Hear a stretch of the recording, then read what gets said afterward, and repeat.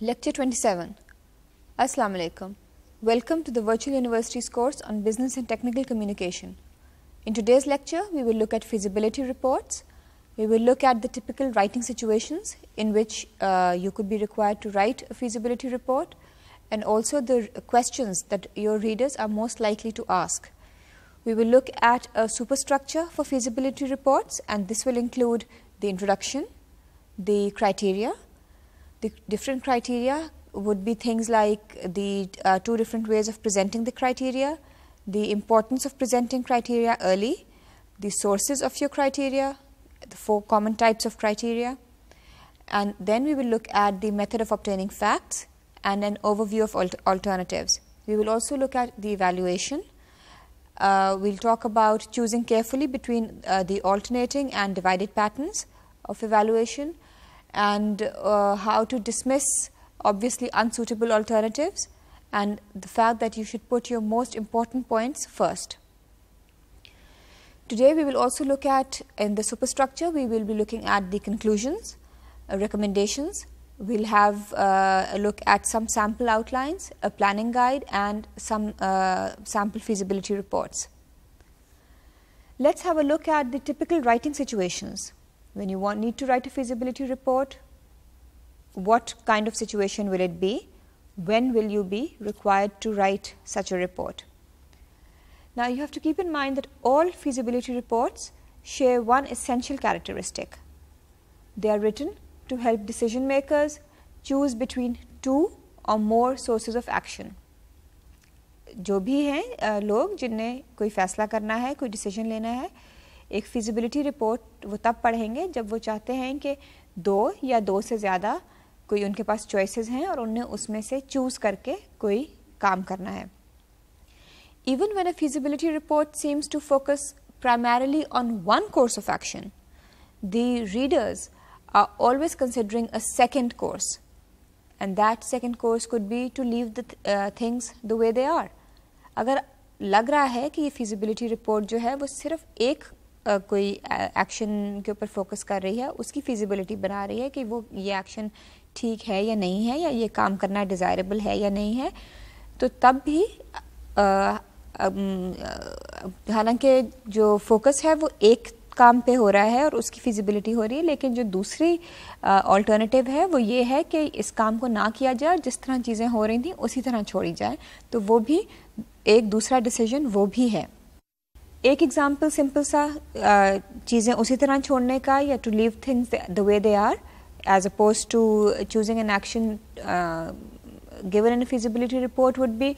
for example to replace the parts of a machinery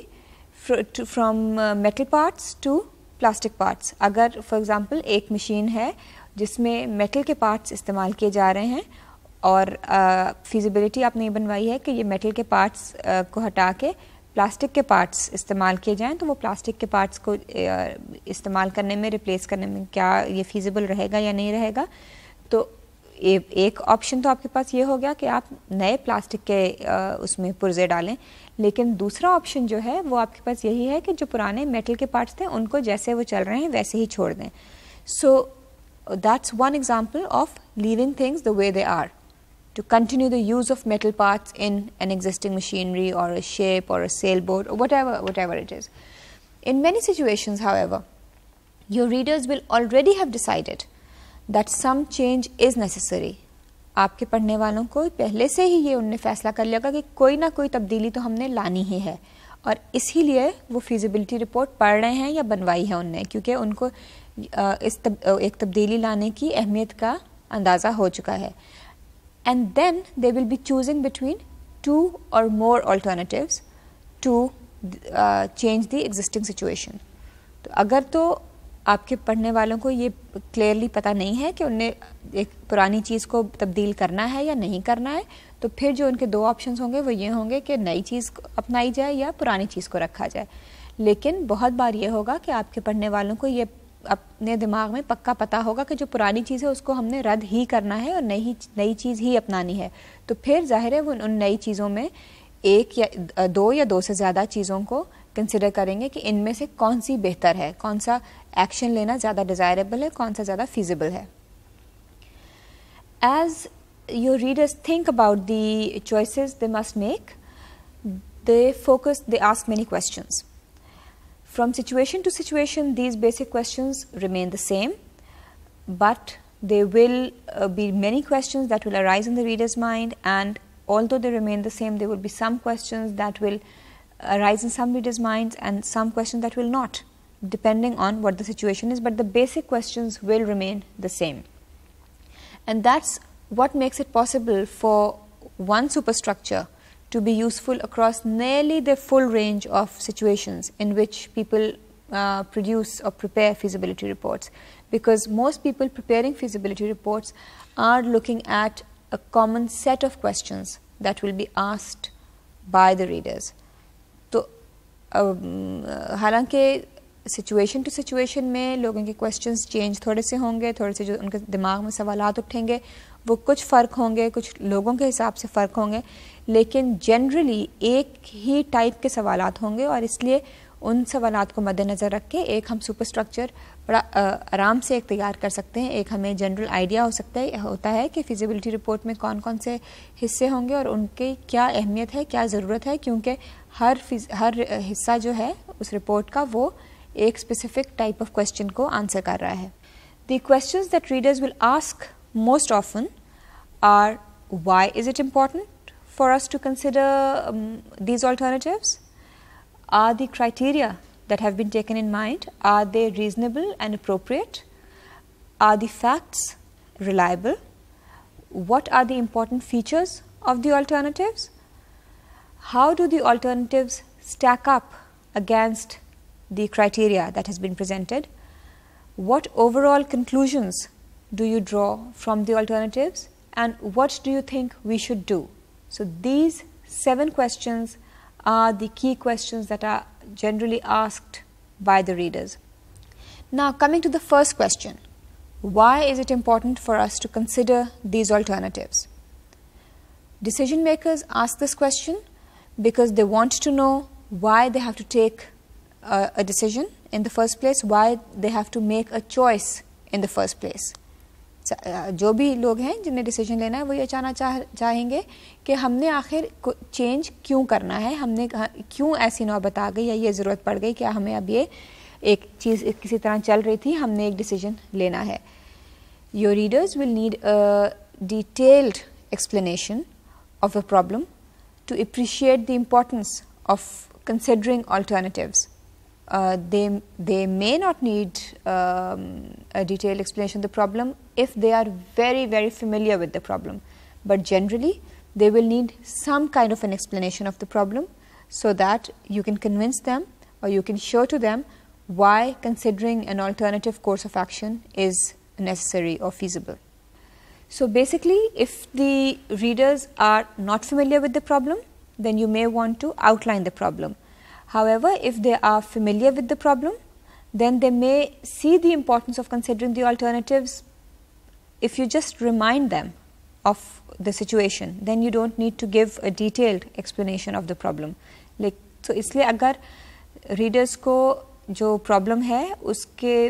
उससे वो पहले ही familiar हैं तो फिर आपको सिर्फ़ उनको रिमाइंड कराना है लेकिन अगर आपको लगता है कि रीडर्स को प्रॉब्लम रीडर्स जो है वो प्रॉब्लम को नहीं देख पा रहा है या उससे इतने फेमिलियर नहीं है तो फिर आपको उसकी डिटेल्ड एक्सप्लेनेशन देनी होगी ना coming to the next question that readers will most likely ask are your criteria reasonable and appropriate? जब आप एक फिजिबिलिटी रिपोर्ट तैयार कर रहे हैं तो आपके पढ़ने वाले ज़रूर ये पूछेंगे कि जो आपने क्राइटेरिया लिया है उस फिजिबिलिटी बनाने के लिए, वो अप्रोप्रिएट है, वो रीज़नेबल है या नहीं है? And to help your readers choose between the two or more alternative courses of action you must evaluate alternatives in terms of specific criteria कुछ आप क्राइटेरिया रखेंगे और उनको आपस में आप एवेलुएट करेंगे ताकि पढ़ने वालों को ये पता चले या ये आ, उनके लिए क्लियर हो कि कौन सी सिचुएशन या कौन सा कोर्स ऑफ़ एक्शन बेहतर है और कौन सा बेहतर नहीं है वो ज़ाहिर है कुछ आप चीज़ें उनकी जब आपस में कंपेयर करेंगे तभी आप बता सकेंगे उनको in work situations people want that the criteria you have kept should reflect the aims and needs and goals of the organization that you are writing the feasibility for. तो जो भी उस ऑर्गेनाइजेशन के एम्स हैं आपके जो criteria हैं वो उनसे सहमत होने चाहिए another question, uh, very important question is are your facts reliable? जो पढ़ने वाले आपके फैक्ट्स पढ़ेंगे आपने जो क्राइटेरिया रखे हैं उनको देखेंगे और जो आपने फैक्ट्स अनकवर किए हैं या जो आपने रिसर्च करके फैक्ट्स बताए हैं उनको देखेंगे तो वो ये जानना चाहेंगे कि ये फैक्ट्स रिलायबल भी हैं या नहीं हैं आपने अपनी तरफ़ से तो नहीं बनाए, या ये तो नहीं कि इनको अगर कोई और जाके चेक करे तो कुछ और जवाब मिले। So they want to know if you facts are reliable before they take any action based on those facts क्योंकि अगर आपके फैक्ट्स रिलायबल नहीं होंगे और डिसीज़न मेकर उस पर कोई एक्शन ले लेंगे तो फिर उनको नुकसान होने का बहुत चांस है। What are the alter what are the important features of your alternative something that readers really want to know so that they can understand your detailed discussion of the alternatives uh, they want you to present an overview that highlights the key features of each uh, alternative that you're presenting. अगर आप एक uh, या दो से ज़्यादा choices उनको दे रहे हैं और उनकी uh, फीचर्स बता रहे हैं तो जो पढ़ने वाले हैं वो चाहेंगे कि एक ओवरव्यू सा मिल जाए जिसमें हर ऑल्टरनेटिव के की फीचर्स पता चल जाएँ ताकि उनको आसानी हो उनको कंपेयर करने में और एक डिसीज़न लेने में then readers want to know how the different alternatives that you have presented how they stack up against your criteria आपने हर ऑल्टरनेटिव का के कुछ क्राइटेरिया रखे थे और उनको आपने मैच किया था। And at the heart of feasibility study is your evaluation of the alternatives in terms of your criteria आपने क्राइटेरिया रखे, आपने ये रखा, ये बात की कि अगर हम ये अगर हम से प्लास्टिक पार्ट्स इस्तेमाल करें तो उनमें ये ये ये चीज़ होती है। अगर हम मेटल पार्ट्स इस्तेमाल करें तो उनकी ये ये खासियत या खूबियाँ होती हैं। तो अब आपके पढ़ने वाले ये देखना चाहेंगे कि जो आपने डिफरेंट ऑल्टरनेटिव्स दिए हैं, वो आपके क्राइटेरिया के साथ किस तरह मैच करते हैं, अगर आपको चाहिए कि आपको मजबूती चाहिए तो फिर आपने प्लास्टिक पार्ट्स और मेटल पार्ट्स में दोनों में मजबूती का एलिमेंट किस, कंपेयर किया है या नहीं किया है। अगर आपको चाहिए कि लाइफ ज़्यादा हो पार्ट्स की तो आपने वो चीज़ कंपेयर की है या नहीं की। अगर आपने ये कहा है कि जंग ना लगे तो फिर आपने वो चीज़ें कंपेयर की, वो बात कंपेयर की है दोनों में कि जंग लगने के चांस कितना है etcetera so and based on that based on the evaluation of the different criteria uh, the uh, and uh, of your alternatives the readers want to know your results what what you find out then and they also want to know the overall conclusions that you draw about the alternatives. Based on your detailed evaluation of the alternatives, you will reach some general conclusions about the merit of each option that you are exploring. So, whatever your general evaluation is, then you will, uh, based on that, you will say whether uh, one type of parts is better than the other. Uh, decision makers need to know your conclusions because these overall judgments form the basis for the decision आप जब अपनी conclusions देंगे आप जब बताएंगे कि आपने जो रिसर्च की आपने जो फैक्ट्स देखे आपने देखा कि जिन जिन लोगों ने अपने मशीनरी में प्लास्टिक पार्ट इस्तेमाल किए हैं उनको कितने कितने परसेंट को एक स्पेसिफिक टाइप की प्रॉब्लम्स फेस करनी पड़ी हैं जिनने मेटल पार्ट्स इस्तेमाल किए, उनको वो प्रॉब्लम्स नहीं उन्होंने फेस की, लेकिन शायद कोई और प्रॉब्लम्स फेस किए एक्सेट्रा जब आप उन चीज़ों, सब चीज़ों को कंपेयर करेंगे तो फिर आपके पढ़ने वाले ये भी चाहेंगे कि आप कोई एक, कोई कंक्लूजन्स दें उनको, ताकि उन कंक्लूजन्स की बेसिस पे वो अपने डिसीजंस कर सकें। Basically they want to know what they should do and they are looking to you as the feasibility report writer to tell them so and in the end because your um, readers must choose one course of action or the other course of action and you are the expert on the subject because you've written the feasibility, you've done all the background research, they want you to help them by telling them what you recommend. So they want your conclusion and they want your recommendation as well. कि conclusion तो ये है कि ये part बेहतर है, या इस पार्ट में ये खूबियाँ हैं, दूसरे पार्ट में ये खूबियाँ हैं। अब वो ये चाह रहे हैं कि आप उनको बताएँ कि आप उनको क्या करना चाहिए अपनी बेहतरी के लिए, अपनी जॉब के लिए, या अपनी जो भी उनने उनके काम में या उनकी प्रोडक्शन में जौन सा चॉइस करना बेहतर है वो चाह रहे हैं, वो आपको देख रहे हैं कि आप उनको बताएँगे। ना let's have a look at the super structure of uh, feasibility reports, as we mentioned briefly in the introduction. To answer your readers' questions about uh, your feasibility studies, you can use a superstructure that has seven elements the introduction, the criteria, the method of obtaining facts, the overview of uh, different alternatives, evaluation, conclusions, and recommendations. Of course, you may combine the elements in many different ways, depending on your situation. जिस तरह के हमने कहा seven parts हैं, सात हिस्से हैं एक रिपोर्ट के, लेकिन आप उन सातों में से कुछ हिस्सों को एक दूसरे के साथ कंबाइन भी कर सकते हैं। अपनी सिचुएशन देख के ज़रूरी नहीं है कि हर फिजिबिलिटी रिपोर्ट में यही सात चैप्टर्स या यही सात सेक्शंस अलग अलग हों। इनको बहुत बहुत बार कंबाइन कर लिया जाता है। For example you may integrate your conclusions into your evaluation or you may omit a separate discussion of the criteria if you feel that they don't need any any special explanation. So depending on the situation depending on the need you can either uh, omit or integrate specific sections of the uh, report. But whether to include each of the uh, seven items or seven elements, the, the decision will be based upon your understanding of your purpose, audience and situation. जिस तरह आप बेहतर समझें अपने audience अपने purpose और situation को report लिखने की उस हिसाब से आप ये डिसाइड करेंगे कि आपने सारे सेक्शंस में से कौन से सेक्शंस ओमिट करने हैं या इंटीग्रेट करने हैं अगर करने हैं तो In the remaining part of this lecture today, we will explain how you can develop each of the seven elements to create an effective feasibility report. So, ha let's have a look at each of the sections in turn and see how each section can be developed and how you can actually write an effective feasibility report. Uh, the uh, questions that we looked at earlier, I um, told you that they were questions, some questions that readers were most likely to ask.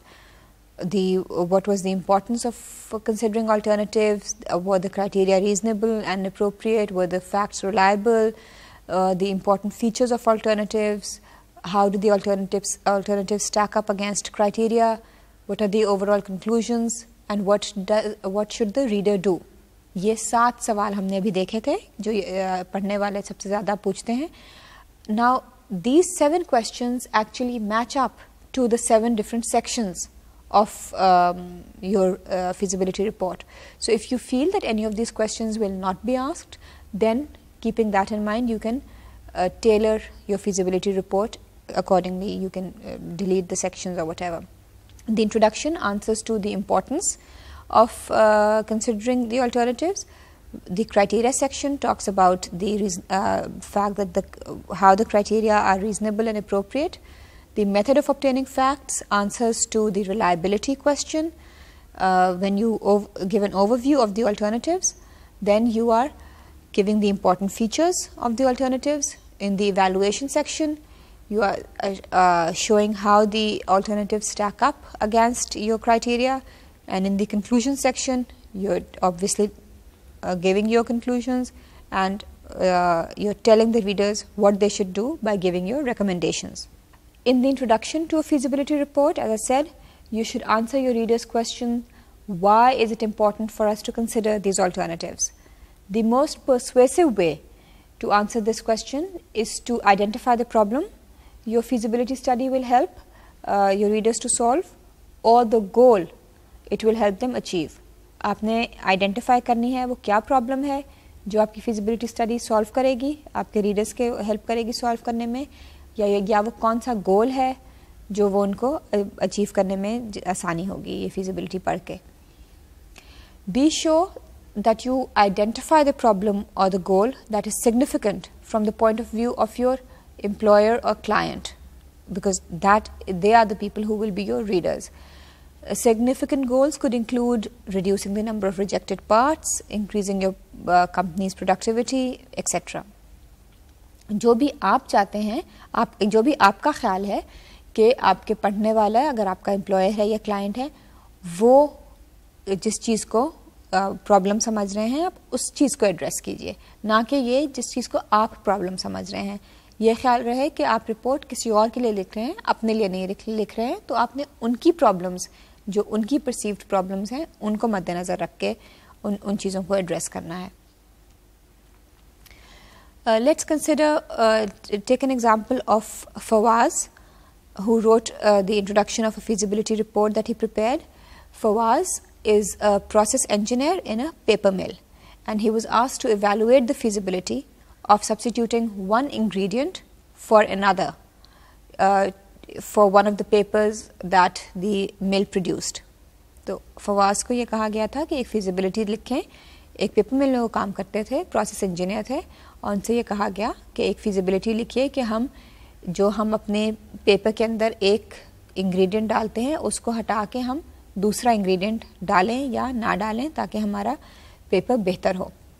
Fawaz ने अपना introduction कुछ इस तरह शुरू किया at present we rely on the titanium dioxide in our furnish to provide the high brightness and opacity we desire in our paper Now he talks about the problem. However, the price of titanium dioxide has been rising steadily and rapidly for several years. And then he says, we now pay roughly $1,400 per ton for titanium dioxide or about 70, percent, 70 per, cents per pound. He now goes on to talk of a possible solution. ये introduction का ही हिस्सा है और अब वो उसने पहले प्रॉब्लम बताई और अब वो एक पॉसिबल सोल्यूशन बता रहे हैं कि ये एक हल हो सकता है वो कहते हैं some mills are now replacing some of the titanium dioxide in the furnish with silicate extenders because of the average price of silicate extenders is only $500 per ton, well under half the cost titanium uh, uh, cost of titanium dioxide. The savings are very great. He's also giving a rationale for that possible solution. तो पहले उनने problem बताई फिर उन्होंने कहा कि ये एक हल हो सकता है और फिर उन्होंने ये बताया कि ये हल क्यों मौजू हो सकता है to determine whether we could enjoy a similar savings for a 30 pound book paper, I have studied the physical properties, material handling re uh, requirements and cost of two silicate extenders, Trisil 606 and Xenolux 26T.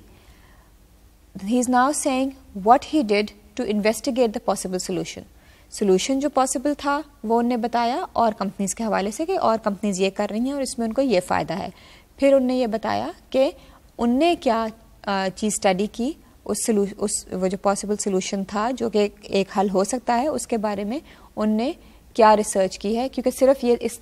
सिर्फ़ इसलिए कि और companies इस्तेमाल कर रही हैं सिर्फ़ ये देख के तो उस चीज़ को अडॉप्ट करना आ, आ, सही नहीं होगा। उसके लिए ख़ुद भी अपनी रिसर्च करनी होगी ख़ुद भी देखना होगा कि और कंपनीज़ को शायद फ़ायदा हो लेकिन आपको फ़ायदा है या नहीं है। ये ना हो कि और कंपनीज़ को देख के आप कोई गलत फैसला कर लें। तो इसलिए जो भी सोल्यूशन है उसको इन्वेस्टिगेट भी करना है कि उसमें क्या खूबियाँ हैं। तो इनने फवाज ने physical properties material handling requirements और कॉस्ट दो दो किस्म के सिलिकेट एक्सटेंडर्स की देखी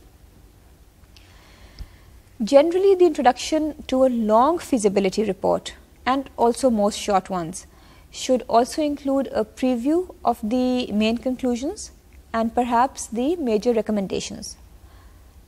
Fawaz, in his introduction, included his major conclusions. Let's have a look.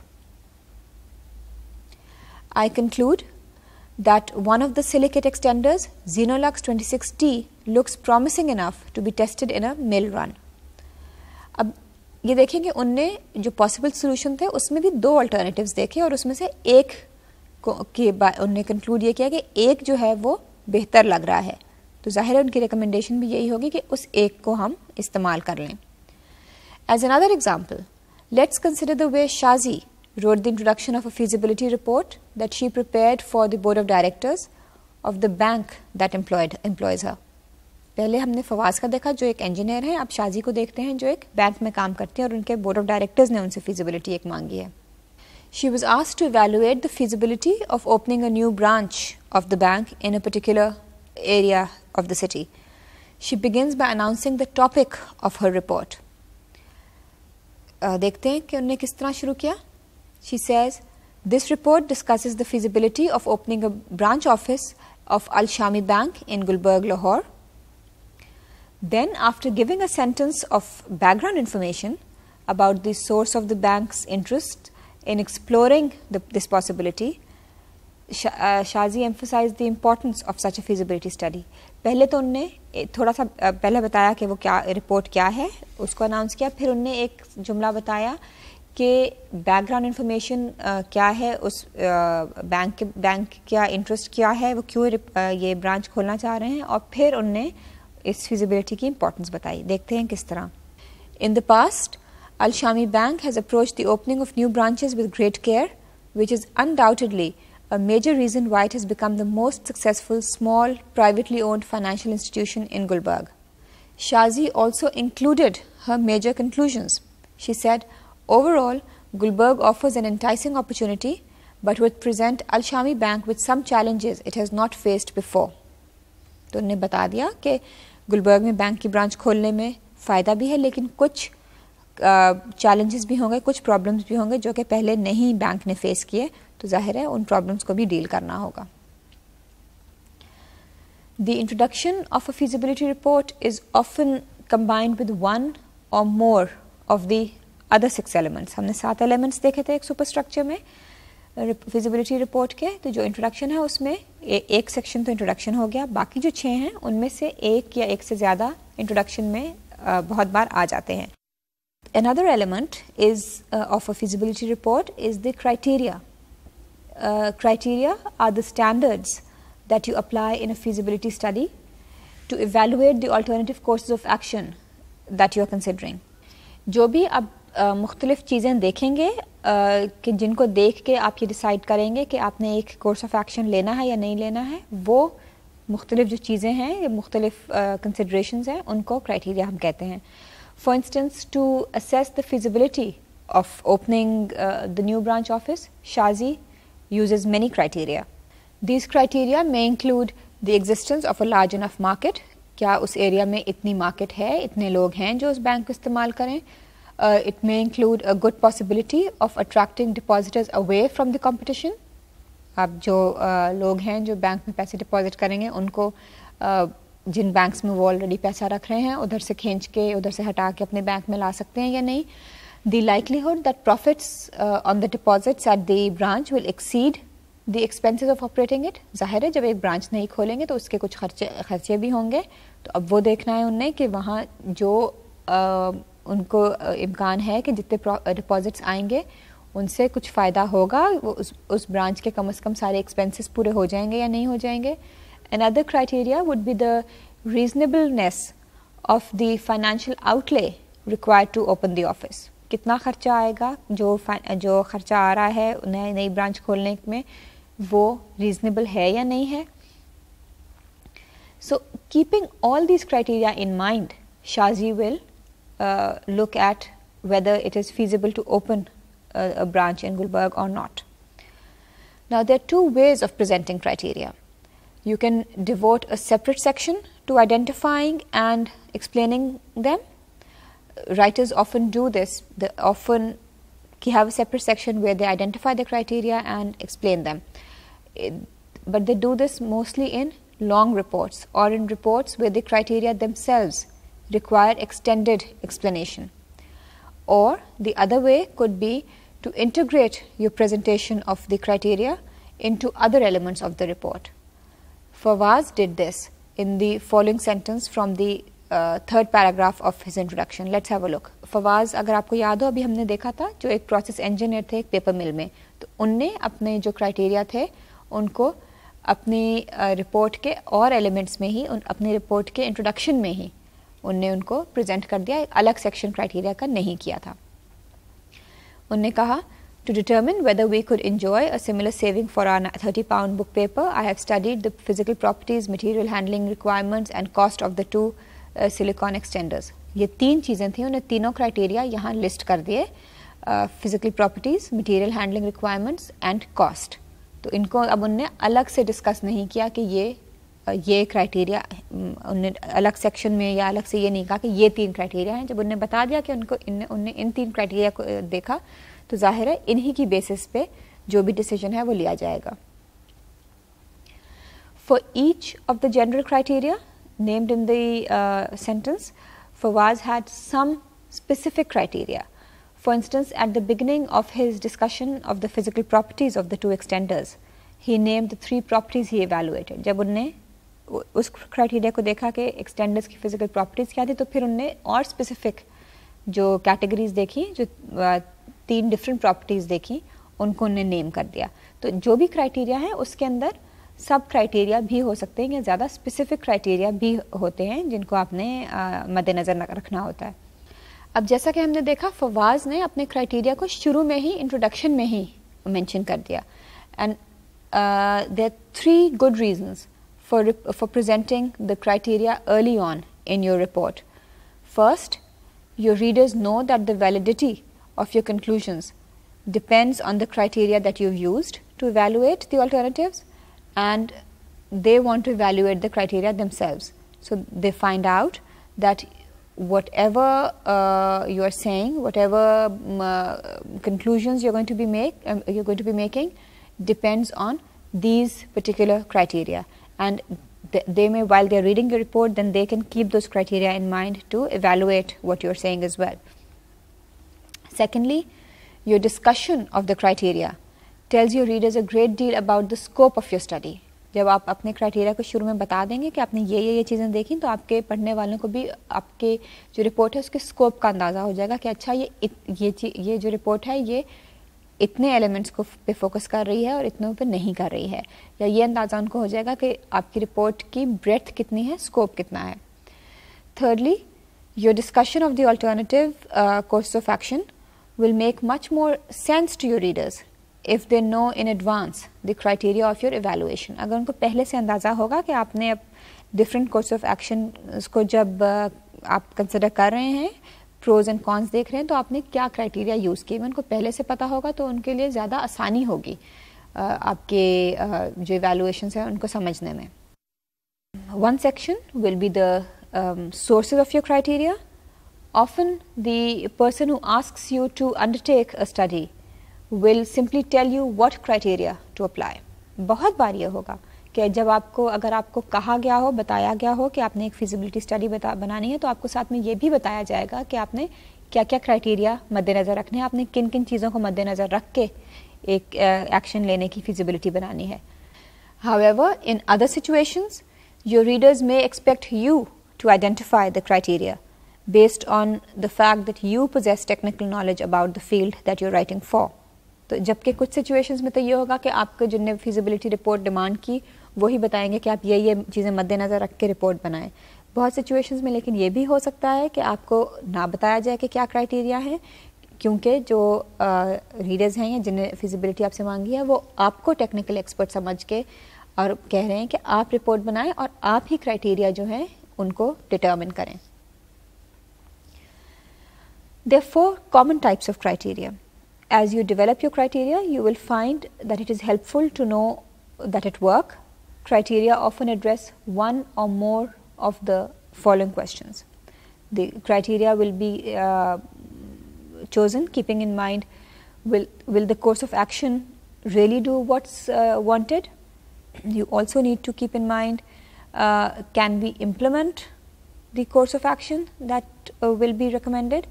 Can we afford the course of action and is it desirable? ये सब चीज़ें चारों चीज़ें आपने मद्देनज़र रख के अपने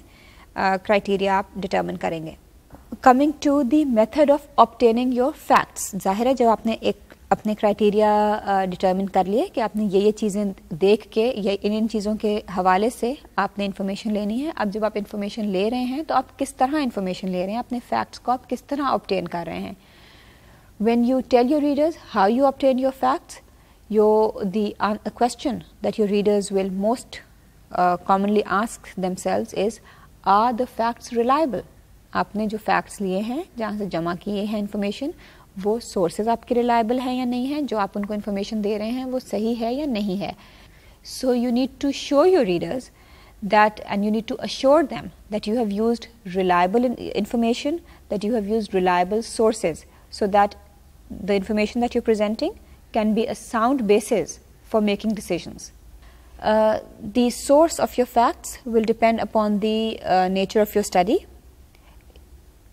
uh, whether your study is library research, whether it's uh, calls to manufacturers, interviews, uh, meetings with other experts in your organization, surveys, laboratory research, all these would be the different ways of obtaining your data, the different sources that you tap in order to get your information. आप अपनी information लेने के लिए इन मुख्तलिफ uh, जगहों से इन मुख्तलिफ तरीक़ों से आप अपनी information ले सकते हैं The amount of detail you need to uh, supply about the methods of uh, your uh, of obtaining facts depends upon your readers and situation. But in each case, your goal is to say enough to satisfy your readers that your information is trustworthy जितना आपको लगे कि इतनी information दे के आपके पढ़ने वालों को ये तसल्ली हो जाएगी कि आपकी जो इन्फॉर्मेशन है वो ट्रस्टवर्दी है वो रिलायबल uh, है आपने उतनी इन्फॉर्मेशन देनी है अपने मेथड्स के बारे में। For example Shaji the bank use some fairly technical procedures to estimate the amount of deposits that Al Shaji bank would expect from a new branch in Gulberg now deciding where to describe your methods depends on how many different techniques you use. If you used one or two techniques, you could describe each in a paragraph or section. अगर एक दो techniques ही आपने इस्तेमाल की तो आप उनको एक एक पैराग्राफ या एक सेक्शन में बता सकते हैं but if you used several techniques for obtaining data, each pertaining to a different part of your analysis, you might mention each of them at the point at which you discuss the results that you obtained. अगर आपने बहुत तरीके इस्तेमाल किए और वो आपके feasibility या रिसर्च के डिफरेंट सेक्शंस में उनका ज़िक्र आया तो फिर आप जहाँ उनके रिजल्ट्स का ज़िक्र आ रहा है, वहाँ आप मेथड बताएँ कि आपने किस तरह ये इंफॉर्मेशन obtain की और क्या रिजल्ट्स आए क्योंकि अगर आप सारों को एक साथ बता देंगे और फिर रिज़ल्ट सारे बाद में बताएँगे तो जो ऑडियंस है वो उसको लिंक अप नहीं कर सकेगी coming to the next section which would be the overview of alternatives before you begin your detailed evaluation of the alternatives you must be sure that your readers understand what the alternatives are.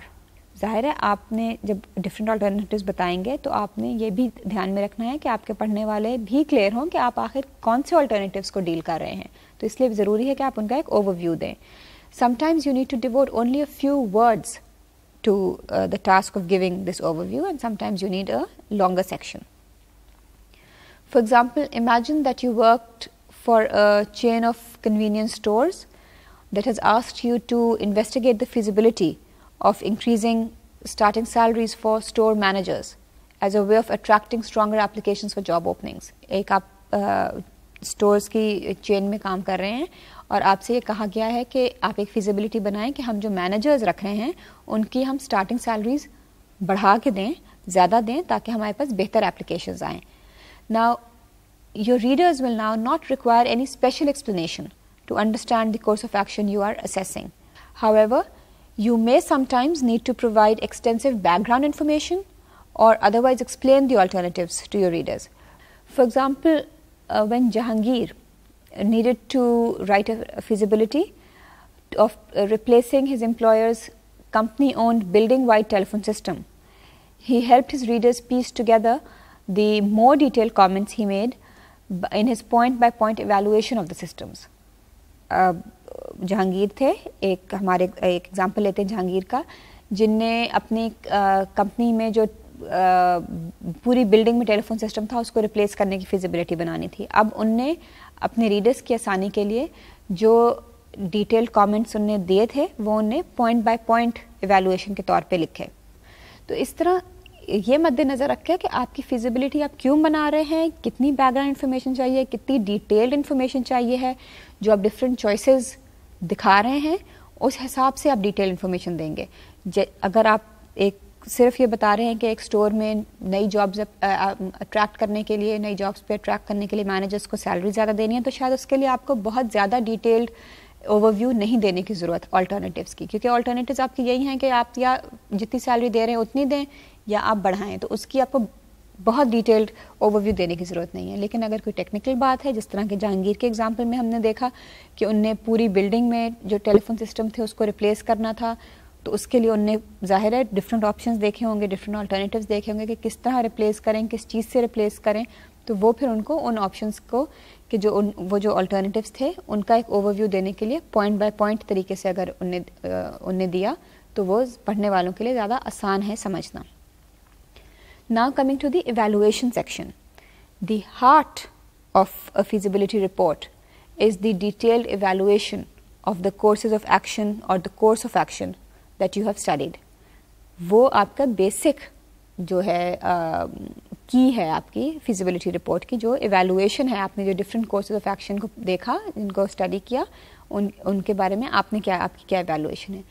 in most feasibility studies writers organize the evaluation sections around their criteria जो उनने मुख्तलिफ़ criteria रखे थे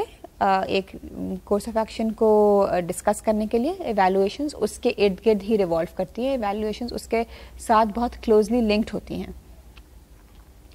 For example in her study of the feasibility of opening a new uh, branch office of a bank, Shazi devoted one section to the size of the market, another to the competition, third to prospective income and expenses and so on हमने ये सवाल देखे थे कि ये क्या क्या चीज़ें उनने कंसिडर की हैं क्या क्या क्राइटेरिया उनने कंसिडर किए हैं। अब उनने अपनी इवेलुएशन के लिए हर क्राइटेरिया का एक सेक्शन रखा और उसको फिर इवेलुएट किया कि उसके बारे में उनकी क्या राय है। ना after your evaluation comes the conclusions your conclusions are your overall assessment of the feasibility of the courses of action that you have studied. You might present your conclusions in more than one place in your uh, report. You could present your conclusions in two or three places in your report. You should uh, certainly mention them in a summary form near the beginning and then wherever need be you uh, mention the conclusions later on in the report but they should come somewhere in the beginning so that your readers know upfront what it is that what conclusions you are going to be drawing from your report. उनको अगर आप शुरू में नहीं लिखेंगे तो पूरी report पढ़ते हुए भी रीडर्स को इतना इतनी समझ नहीं आएगी कि आखिर आप क्या कंक्लूजन uh, आपने ड्रॉ किया क्योंकि उनको उसके साथ साथ सोचना पड़ेगा कि आखिर आप क्या uh, कहना चाह रहे हैं। लेकिन अगर एक समरी फॉर्म में पहले से आपने लिख दिया होगा तो कोई सस्पेंस नहीं होगा। बेहतर है कि उनको वो पहले से प्रिपेयर्ड होंगे जो आपकी कंक्लूजन है उसके लिए। And then finally the recommendations. It is customary to end a feasibility report by answering the decision maker's expected question, what do you think we should do? Sometimes your recommendations will pertain uh, directly to the course of action that you studied. You can say do this or don't do this. Uh, at other times you won't be saying so directly, but you will be uh, suggesting some recommendations. You may also discover that you were unable to gather all the information you needed to make um, a firm recommendation. कई बार ऐसे होगा कि आप एक firm recommendation नहीं दे सकेंगे क्योंकि आपको शायद पूरी information ही नहीं मिली तो फिर आप suggestions अपनी देंगे In this lecture, we looked at some typical writing situations where you would write a feasibility report. Uh, we looked at the questions that readers are most likely to ask. We looked at a superstructure for feasibility reports where we looked at the different elements of introduction, the criteria, the different ways of presenting criteria, their importance, uh, the sources of the criteria, the four common types of criteria. Uh, we looked at the method of obtaining facts, uh, overview of alternatives. Then we looked at the element of evaluation and the fact that we need to choose carefully between the alternating pattern and the divided patterns and what they mean. We talked about dismissing obviously unsuitable alternatives and putting the most important points first. We also looked at the importance of conclusions and recommendations. We looked at sample outlines, a planning guide and sample feasibility reports. If you have any questions, please feel free to email us. Until next time, Allah Hafiz.